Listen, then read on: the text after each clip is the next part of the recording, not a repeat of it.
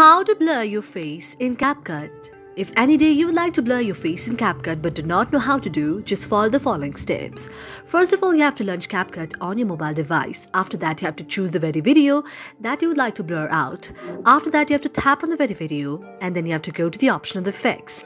After you go to the option of effects, you have to go to the option of video effects. After that, in the search section, you have to search blur there. After you search blur there, you can see the various options of the blur. You have to choose any of the one option that you would like. For example, uh, you can choose the very blur option out there. After you choose on the very blur option out there, now to tap on the very blur option there. After you tap on the very blur option there, now you can see an face like this. Now to go forward, you can also increase the very blur option by tapping the blur option and increase the blur section out there or decrease the blur section also. If not, you have to go to the very option. Now you have to tap on the very option and go to the option of the overlay.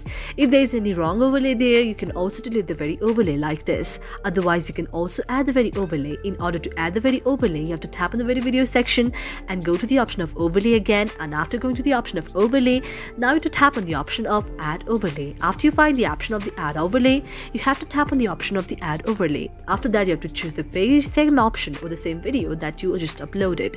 You have to tap on the very same video and you have to add the very same video to the add overlay option.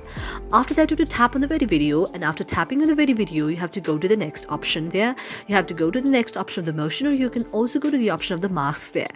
You have to tap on the option of the very masks there and when you tap on the option of mask, you can choose any of the format that you'd like to blur. For example, I choose the very round option or the circle option here and you can circle the very portion out there and this way your very part that you would like to blur will be blurred and the other portion will be shown. And you can also increase the blurriness or the motion blurriness there if you'd like to add any motion blurriness there but if you'd not like to add any motion blurriness you can just cut it out. Thank you for watching our video and if you really like it do not forget to subscribe our channel.